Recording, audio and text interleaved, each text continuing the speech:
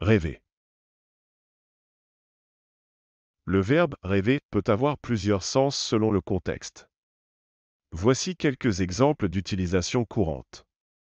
1. Rêver peut signifier imaginer ou espérer quelque chose qui semble difficile ou impossible. Par exemple, J'ai toujours rêvé de devenir actrice. Il rêve de partir en vacances aux Maldives, mais il n'a pas les moyens. 2. Rêver peut également signifier avoir des images ou des sensations dans l'esprit pendant le sommeil. Par exemple, Hier soir, j'ai rêvé que je volais au-dessus des nuages. Je fais souvent des cauchemars et je me réveille en sueur. 3. Enfin, rêver peut être utilisé pour exprimer un regret ou une déception sur une situation.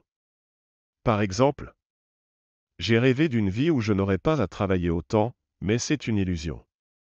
Nous avons rêvé de partir en vacances tous ensemble, mais finalement chacun a ses propres projets.